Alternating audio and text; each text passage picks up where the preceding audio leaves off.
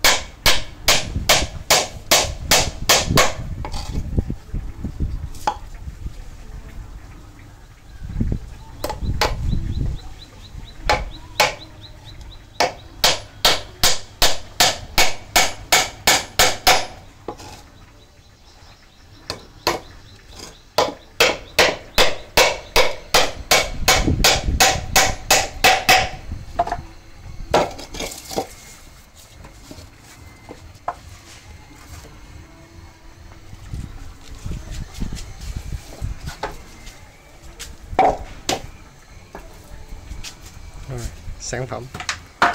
Có một sản phẩm.